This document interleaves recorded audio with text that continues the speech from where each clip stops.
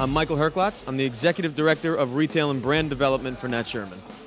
This is uh, a little overdue, but this is the celebration of uh, the Nat Sherman Timeless Collection made in the Dominican Republic.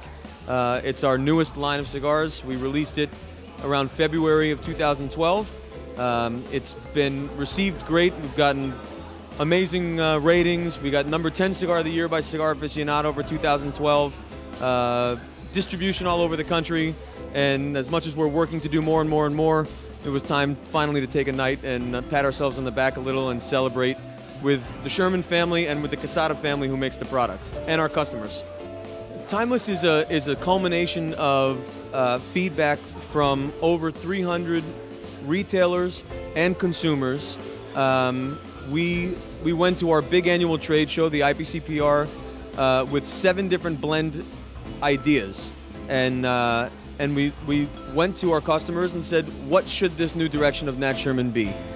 It's going to be called Timeless. This is the picture, this is the idea, and actually the only thing we had was this banner. And, and we, we turned to our customers and said, what do you want the product to be? From a blend perspective, from a packaging perspective, from a price perspective, from a size perspective.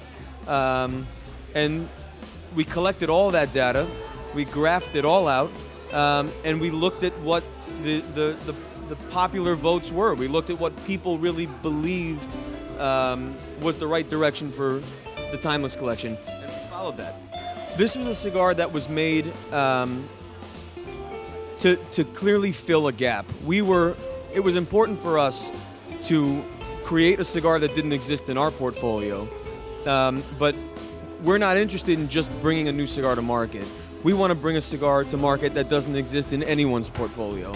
Um, and so to do that, we needed to turn to the experts. And the experts in this case are consumers and retailers who are around all different cigars all the time.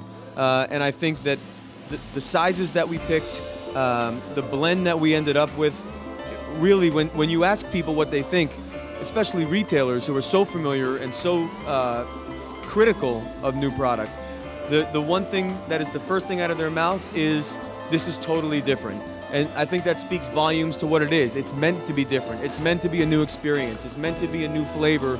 Um, I couldn't be more proud of it.